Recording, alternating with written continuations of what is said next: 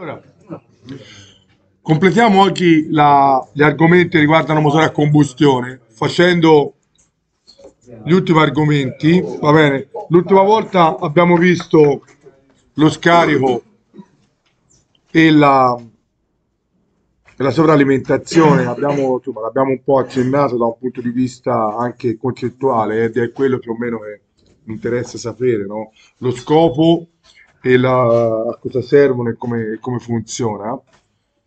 Il, eh, come abbiamo detto l'altra volta, la sovralimentazione ha il compito di eh, sovralimentare eh, la parte, diciamo, volumetrica del gas, quindi cercare di far entrare all'interno del, del cilindro più gas possibile, creando, diciamo, un, un'extra pressione all'aspirazione che permette l'aumento del riempimento all'interno del cilindro.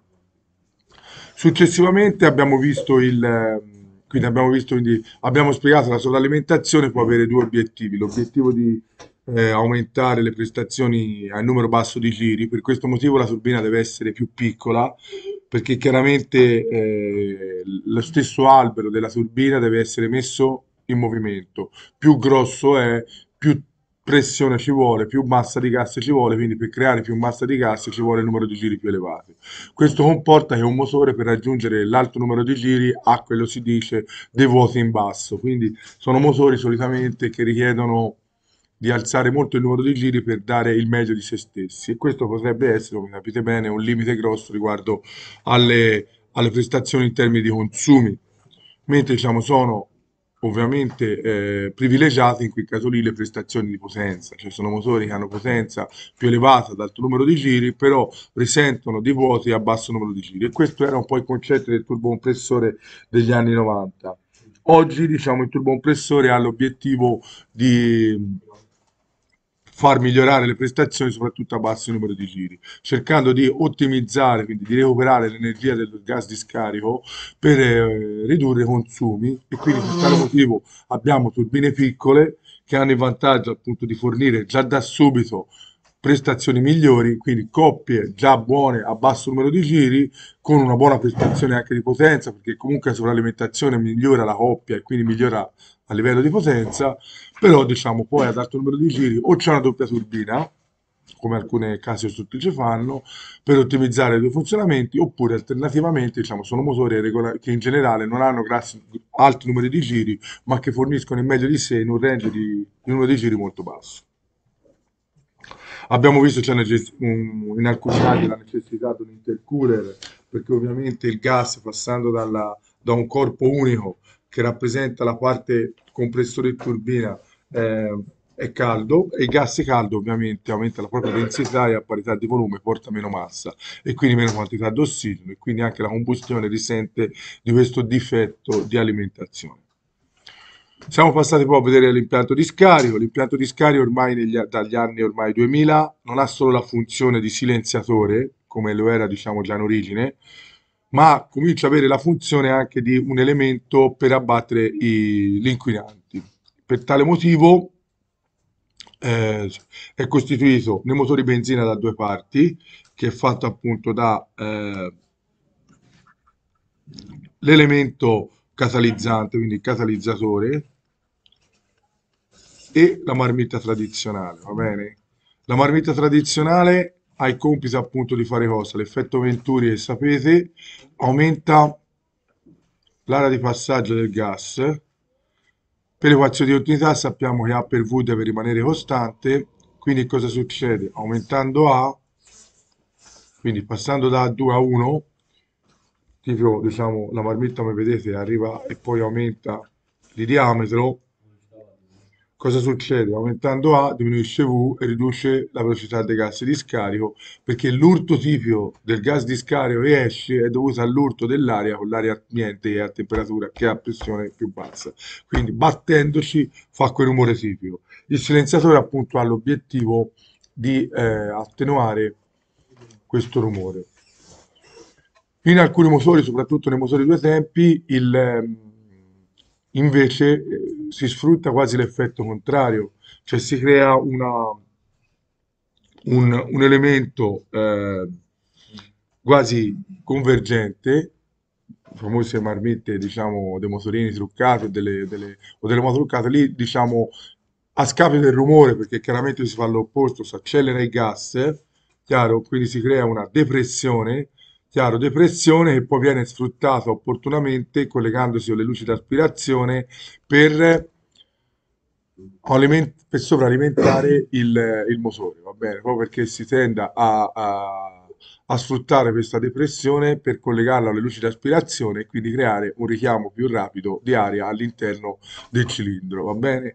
Nel quattro tempi ovviamente tutto questo non ha senso perché ovviamente il, tap, il che controlla è la valvola, se la valvola non è aperta è inutile creare questo effetto, quindi diciamo nei quattro tempi questo tipo di, di beneficio la marmetta non lo darà mai viene messa solo per motivi estetici perché molte volte il rumore ormai nei motori è caratteristico e diciamo anche affascinante in certi casi, no?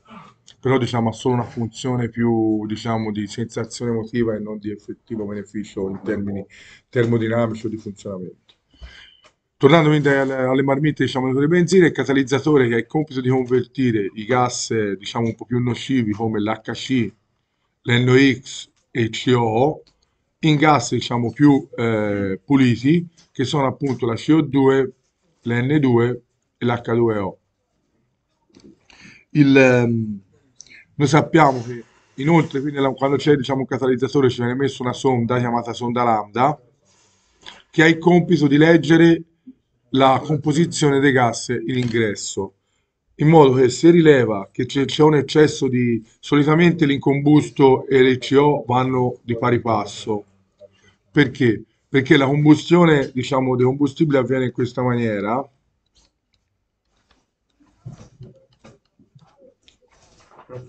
Sì? È HC, NOx e CO, giusto? Sì. Okay. Quindi trasforma.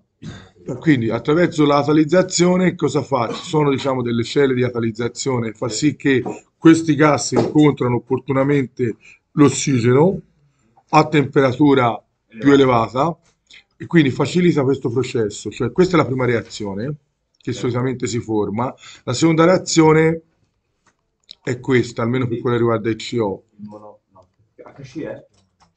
Eh? L'incombusto, il combustibile, che è l'incombusto. Ora, solitamente, questo l'abbiamo visto nei sociali saldature l'anno scorso, però solitamente quando si produce CO, quindi si produce solo la prima reazione, siamo in carenza d'ossigeno quindi questo fatto dice che siamo in carenza d'ossigeno e per questo motivo o in eccesso di combustibile, è la stessa cosa però.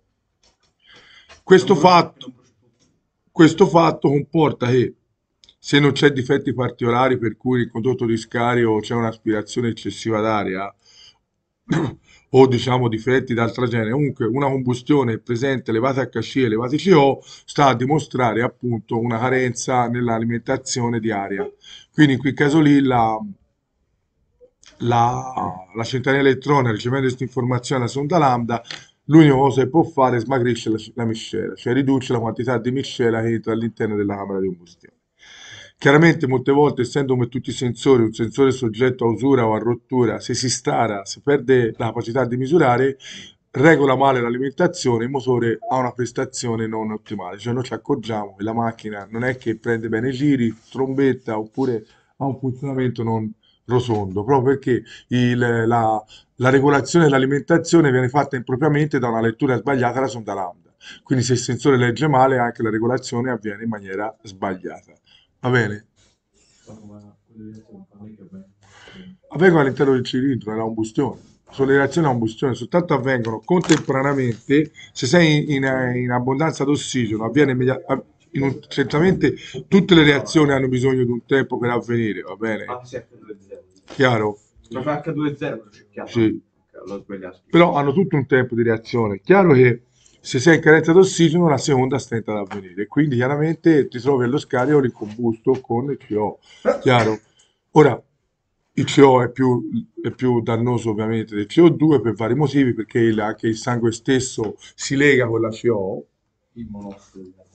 Poi perché diciamo inganna l'emoglobina facendo, avendo diciamo una- lo ione libero negativo come l'ossigeno e quindi tende a catturare il CO2 al posto dell'ossigeno e quindi si sposta questa molecola all'interno del polmone, soltanto a un certo punto il polmone in carenza d'ossigeno, tu hai il fenomeno diciamo della, a livello anche neurologico, viene a mancare l'ossigeno alle cellule, soprattutto cerebrali, quindi sono una perdita di coscienza inizialmente e poi proprio la morte per, proprio per soffocamento.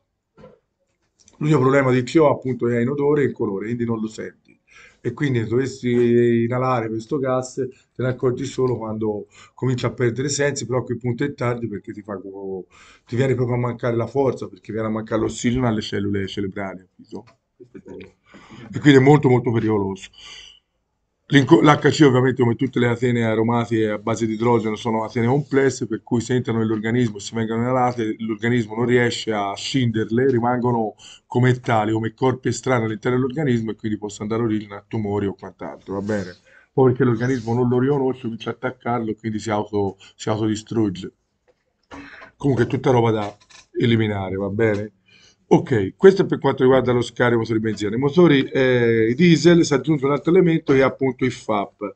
Il FAP è effetto antiparticolato, visto in maniera molto crudele, il FAP è, è come se fosse un retino, una rete su cui diciamo, rimangono intrappolate le, le, particelle solide di carbonio che si formano, la polvere sottile, vero? Polvere sottile si forma dalla combustione del combustibile che a differenza del combustibile benzina è un combustibile più sporco e quindi in fase di combustione crea questo residuo solido, chiaro, che finisce per eh, rimanere intrappolato nella rete, però diciamo cosa succede? C'è un misuratore di depressione tra l'ingresso e l'uscita, quando misura un delta P troppo elevato vuol dire che c'è il filtro intasato e quindi cosa fa? Dà incarico al motore di eliminare, di bruciare questa polvere sottile. Cosa fa il motore per riuscire a, a pulire il filtro? Butta dentro nella fase di scarico, inietta proprio il gasolio nella fase di scarico, quindi il gasolio arriva nel FAP, brucia e fonde queste particelle solide riconvertendole in parte gassosa. Chiaro? Chiaramente tutto questo che cosa comporta? Tutto il ciclo di rigenerazione del FAP che avviene all'interno del motore dura un certo tempo. Se voi la macchina usate parecchio un circuito cittadino, questo ciclo di rigenerazione che richiede, fate conto, 20 minuti, voi lo fate durare 10, cosa fa? La macchina non lo termina, non ha il consenso di fine, tutte le volte rimette in moto ricomincia. Quindi oltre ad aumentare i consumi, cosa succede? Quando niente gasolio nella fase di scarico, siccome il pistone è in una fase diciamo di spinta verso l'alto, il gasolio tende a ricalare nell'olio e quindi aumenta il volume dell'olio e vi segna l'olio in eccesso nei motori. Perché? Perché parte di gasolio va sotto la, la va nella parte della hoppa dell'olio e quindi aumenta il volume. Chiaro? E quindi è stato scoperto che alla fine doveva essere un elemento eh, che doveva ridurre l'inquinamento, alla fine buttando dentro questo gasolio di continuo e trovandolo allo scarico comunque un eccesso di gasolio che non ha dato il beneficio di produrre energia meccanica necessaria per il movimento, alla fine il beneficio da una parte era un maleficio dall'altra. E allora oggi diciamo c'è appunto la, l'urea famosa, Blu-ray, che ha appunto il compito di rigenerare il ehm, il FAP senza ricorrere appunto a una combustione della, della senza buttare, diciamo, iniettare il gasolio nella fase di combustione, non analizzando il ciclo termodinamico del motore stesso. Va bene? Questo per quanto riguarda l'impianto di scarico. Per completare questo ragionamento c'è da fare l'impianto di raffreddamento. Il FAP è un filtro antiparticolato, appunto ha il compito di catturare attraverso diciamo proprio una cattura fisica, attraverso un retino, no? Il partiolato solido, la particella solida rimane intrappolata nel foro del retino che ha di dimensioni minori rispetto alla dimensione della parte, del particolato solido e quindi rimane intrappolato. Okay. Le polveri sottili. Sempre la polvere sottile.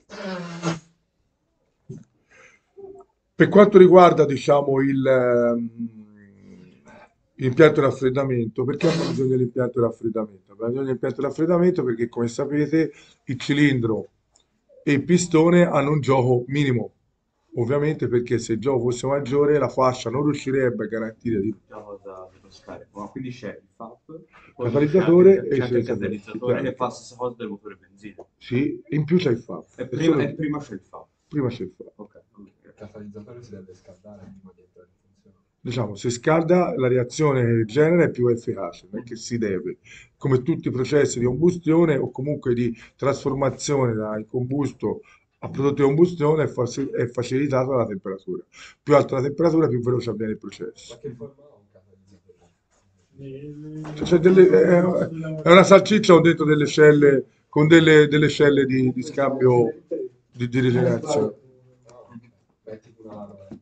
No, no, non è vero, no, no. C'è proprio le celle in cui il gas viene costretto a passare all'interno delle serpentine e quindi passando da queste serpentine allunga il tempo di permanenza, aumenta la probabilità che si riesca a un proprio, ma non è che uno crea, cioè crea troppa, cioè, come posso dire, crea un certo tasso allo scarico.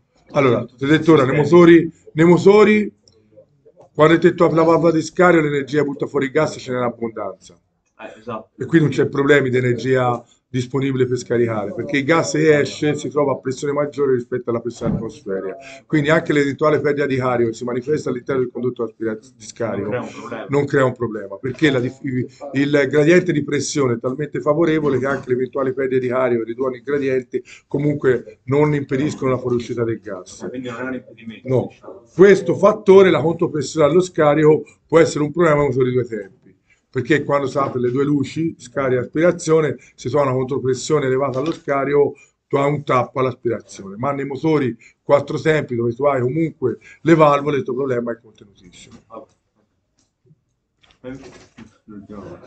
Invece la valvola per rigenerare, si può rigenerare per fare circolare una parte del gas.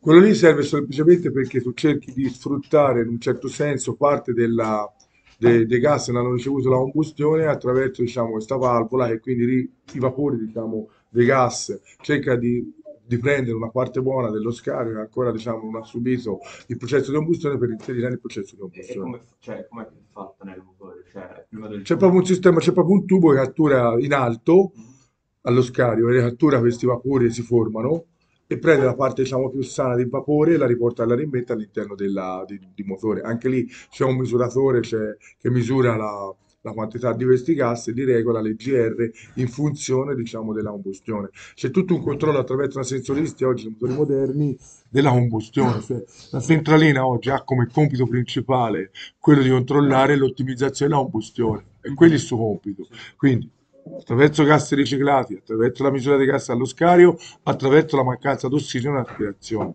E come regola la centralina? Attraverso l'anticipo e l'apertura della- delle valvole, se c'è la fasatura variabile, altrimenti attraverso l'anticipo e l'accensione. Non ha altri modi, eh.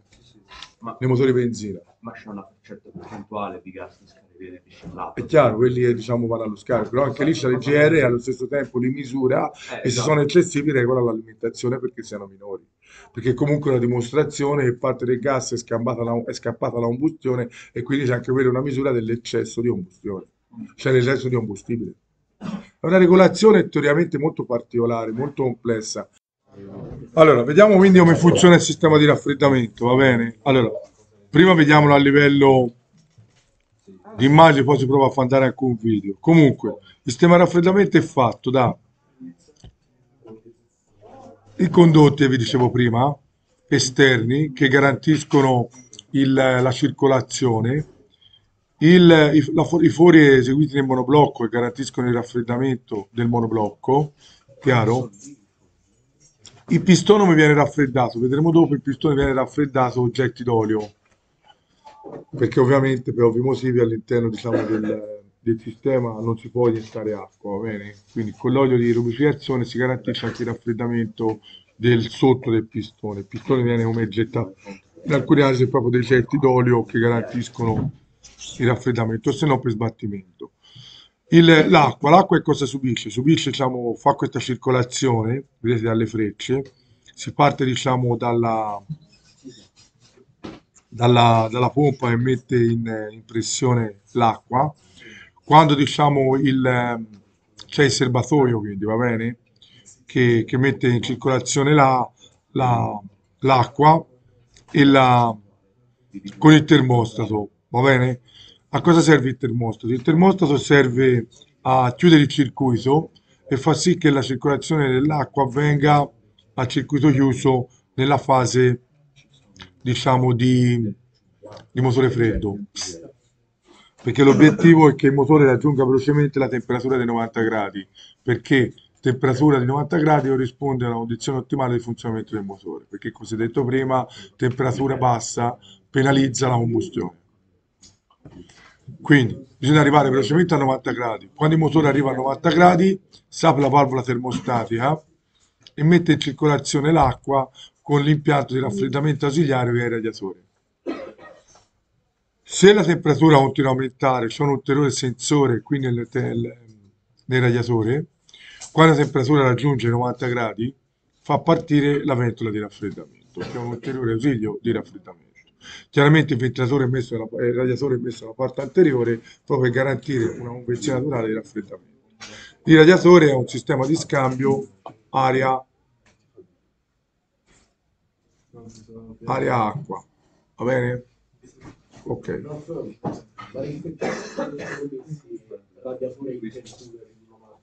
Allora, l'intercooler può essere messo o proprio davanti, dietro al radiatore tradizionale, perché anche lui catturi l'aria, oppure può essere messo in posizioni più particolari, magari molte volte in alcune macchine si trova proprio un radiatore unico diviso a setti, quello dell'aria, cioè quello dell'aria, quello dell'olio e quello dell'acqua, perché in alcune macchine c'è anche il radiatore dell'olio. Chiaro? Ok? Lo spiegavo ora. C'è, ora un secondo fa tu c'eri. È che non state attenti. Quando vuole l'integrazione, queste cose voglio sapere. Io vedo molta distrazione in alcuni. Dopo 40 minuti si è belli e corti. Però, C'è anche, cioè non so se c'è anche nella macchina, comunque la moto c'ha un bulbo eh, lì vicino sotto è il termostato Eh sì, che dice... che legge e apre il circuito in base alle condizioni di funzionamento. Ci ho fatto un ponte perché mi si era rotta la centralina, con- No, lì c'è una centralina. Quello è un sistema di controllo fisico della temperatura, lì non è un problema centralina. Lì fisicamente, quando raggiunge la temperatura, te lo apre il circuito, capito? È meccanico. C'è come un sistema, oppure può essere elettro, elettromeccanico. Ah, ho fatto il ponte perché ah, a parte il termostato mi era rotto, siccome ha messo un bulbo artigianale. tipo Eccolo qua, questo è il sistema di raffreddamento, va bene. Comincia diciamo, il motore a funzionare, l'acqua circola nei condotti, quando la temperatura sale, va bene, apre il termostato, vedete diventa rossa, apre il termostato e aumenta il circolazione del radiatore, diventa rosso anche il radiatore, piano piano, se diventa rosso fa partire la ventola e raffredda anche la ventola, a quel punto sarà la massima capacità di raffreddamento del motore. Non solo, tutta quest'acqua arriva anche, arriva anche nell'abitacolo e attraverso il sistema di ventilazione scalda anche l'abitacolo, va bene? Quindi parte dell'acqua di raffreddamento riscaldata va nel radiatore dell'abitacolo che ha il compito di riscaldare anche l'abitacolo, va bene? Ok. E qui c'è la ventola di regolazione, va bene? La pompa dell'acqua è messa in questa posizione, va bene? L'energia meccanica, la pompa dell'acqua per generare energia di pressione gliela dà l'albero motore. Allora, bene, impianto di lubrificazione. Ah, scusate, questo è il sistema d'aria, sistema d'aria, molte volte sistema d'aria dove soprattutto il motore è ubicato in una zona dove l'aria dall'esterno non arriva, c'è proprio una ventola che genera una prevalenza, una portata d'aria forzata all'interno del cilindro del motore per raffreddare, va bene? Questo era tipico della vecchia 500. Allora, ovviamente ventola anche lei è regolata a sua volta dall'albero motore, va bene? Ragazzi, e c'è gente che continua a chiacchierare, è un video nulla, ma sto anche registrando. Non è che vi dite una parola e smettete, continuate imperterriti.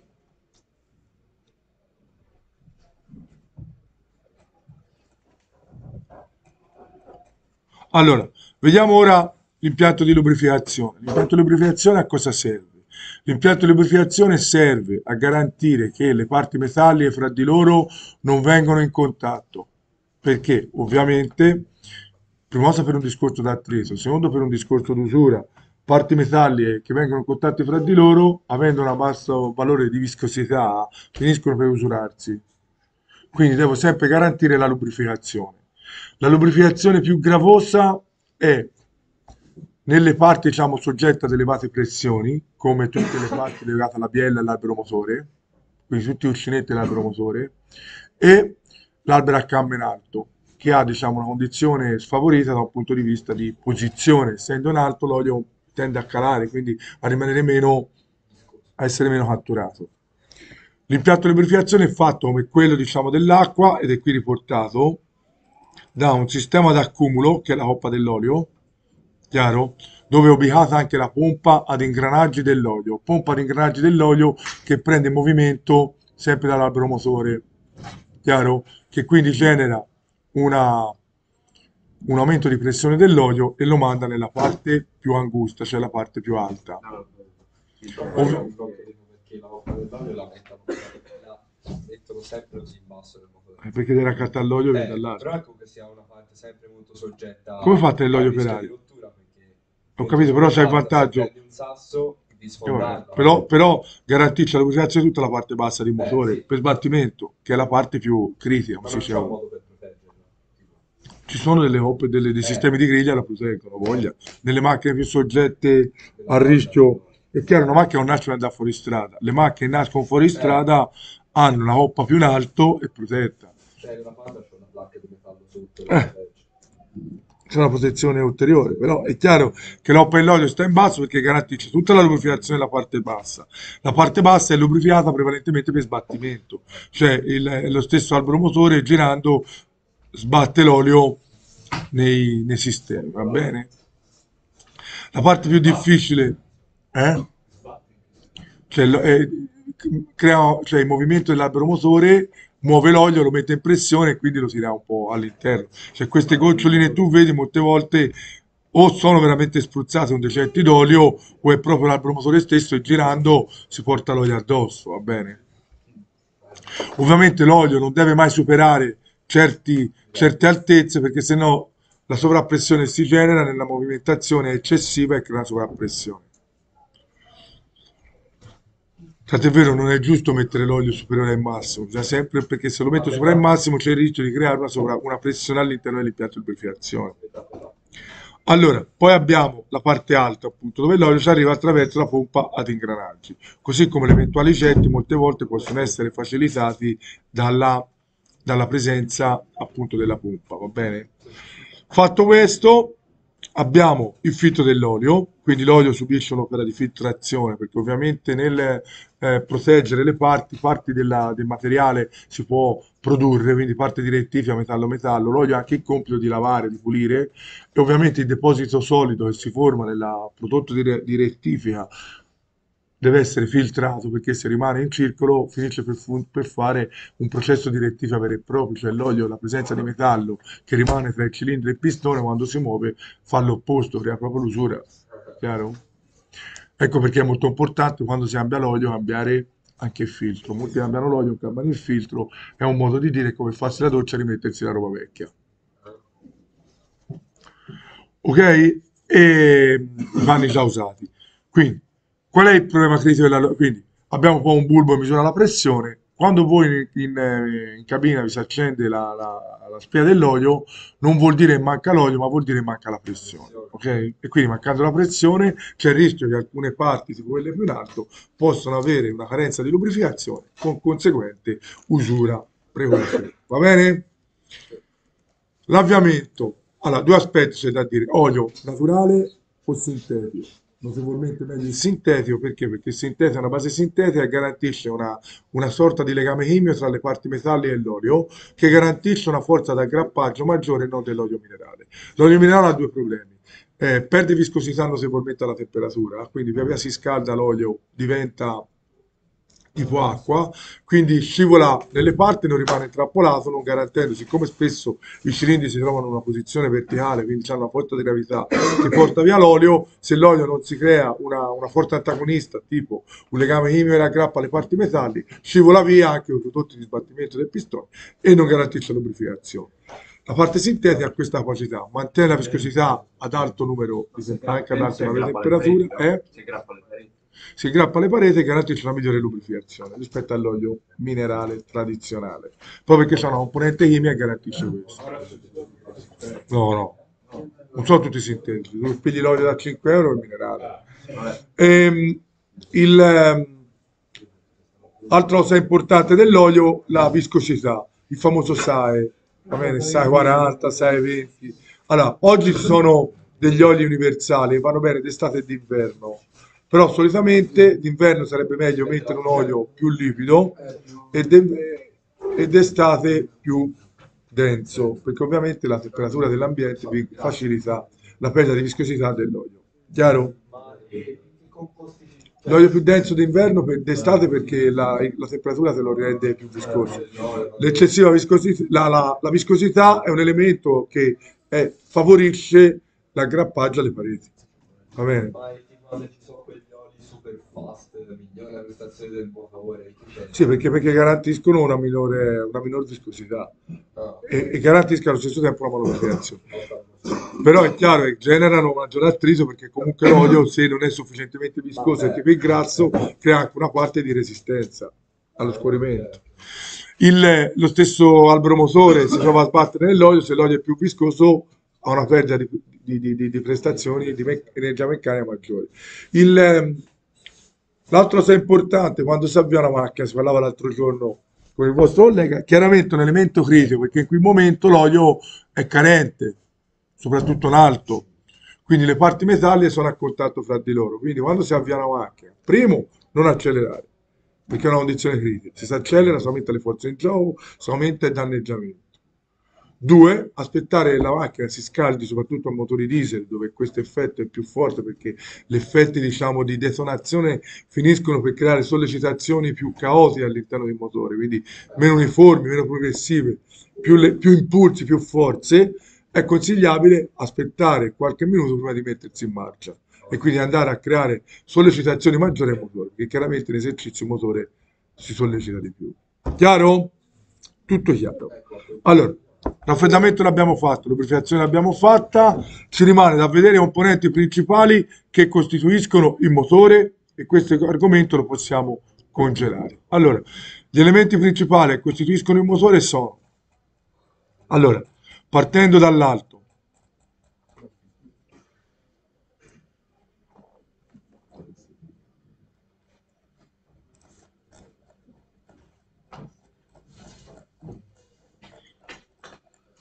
allora, partendo dall'alto,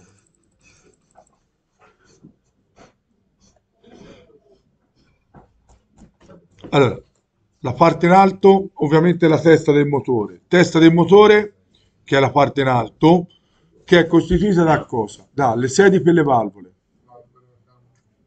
No, la testa no. La testa è fatta dalla sede, le sedie per le valvole, le sedie eventualmente per la candela dove c'è l'accensione, le sedie per gli iniettori dove c'è l'iniettore in testa o comunque i motori diesel. Poi abbiamo, oltre la testa, abbiamo il monoblocco. Il monoblocco è la parte in basso dove è ricavato i cilindri. Sempre nel monoblocco, come abbiamo visto, è ricavato l'eventuale alette di raffreddamento, perché ovviamente comunque il monoblocco deve essere raffreddato. Nel monoblocco è ricavato anche i fori di raffreddamento che abbiamo visto hanno il compito di garantire il raffreddamento del monoblocco. Tra il monoblocco e la testa è presente la guarnizione, guarnizione che garantisce la, la tenuta stagna nel, nel passaggio dell'acqua. Nella parte alta abbiamo la coppa, abbiamo il coperchio delle punterie, perché ovviamente tutto il sistema di distribuzione deve essere comunque coperto perché c'è olio che circola. Quindi abbiamo il, coperchio delle punterie chiamato. È il coperchio in parte alta che copre il sistema di distribuzione. Va bene? Sempre nel- nel- prima fu le parti fisse, poi fu le parti mobili. Nelle parti fisse c'è poi la parte bassa, che è la parte bassa del monoblocco, che costituisce la coppa dell'olio. Chiaro? E quindi il sistema di completamento o del cilindro del monoblocco. Sempre nella parte bassa è presente le sedi dove sono collocati i cuscinetti, in questo caso radenti. Va bene? Famose bronzine di banco. Bene, Poi, sempre riguardo al motore, abbiamo nella parte alta la distribuzione, motori 4 sempi, motori 2 sempi non ce l'abbiamo, motori 4 sempi abbiamo, tutto quello che abbiamo detto fino ad ora è comune a tutti. Velocemente nel 2 sempi abbiamo semplicemente qui nei cilindri dei fori che sono le famose luci, che sono luci di aspirazione e luci di scarico. Nel 4 step invece abbiamo il sistema di distribuzione che è fatto da Labrador Cam in testa chiamato, con gli eventuali eccentrici, le valvole che garantiscono il sistema di aspirazione e scarico. Valvole di aspirazione e valvole di scarico.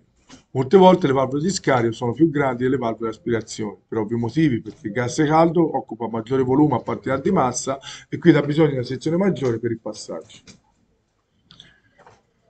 Bene, parte in movimento abbiamo albero a camme, sincronizzato opportunamente un sistema di pulegge dentate o di catene con, con rose dentate all'albero motore con un opportuno rapporto di trasmissione, solitamente è 1 a 2 nei motori 4 tempi, perché l'albero, motore fa due giri, l'albero a camme deve fare uno. Va bene? per servire tutte le valvole, proprio perché appunto c'è la gamma e in un giro completa tutte le fasi. Quindi, albero a camme, sistema di valvole o dei, dei registri chiamati idraulici, sono questi qui che vedete per mantenere costanti il gioco albero a camme e la valvola, la molla e la valvola. Poi abbiamo il, il sistema biela manovella, che questo ormai diciamo l'abbiamo visto mille volte, che è fatto del sistema pistone, che garantisce il moto alternativo, lo spinotto che collega il pistone alla biella, le fasce elastiche che possono essere di due tipi, le rastie a olio e quelle di tenuta. La rastia a olio ha il compito di ripulire dal cilindro l'olio, quella di tenuta ha il compito di garantire il, il mantenimento del rapporto di compressione. Spesso se c'è la doppia fascia, in alto c'è la fascia normale, in basso c'è la rastia a olio come in questo caso ce n'è tre, vedete? Sono tutti acciai particolari, acciai particolari, che devono avere una certa elasticità e una certa eh, resistenza. esatto.